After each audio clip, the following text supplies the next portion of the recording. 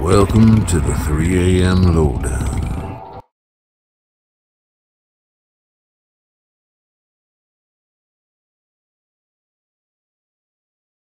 Down there is Area 51. And if you can see those lights down there, it's been going on for the last couple of days. You can see lights like going up and down and moving all around. Like like right now, you see that one right there? Look, it's going up. It's starting to go up. It's been there for like the last 20 minutes or so. Now it's going up. And this has been going on for the last couple of days. And look, you can see it's going up and up. And I don't know what it is, but this is like some creepy, creepy shit.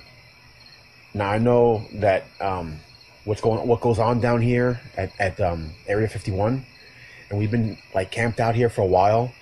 And look, look, look, it's moving, it's moving, it's going, it's, go, it's going the other direction. Now you see, you see, this, this is the kind of stuff that. Uh, oh, did you see that? It's gone. It's gone. Putting it out there for you to decide. Like, share, and subscribe, please. It helps out a lot. Thank you. You, the viewers, make this all worthwhile. Thank you so much. Thank you.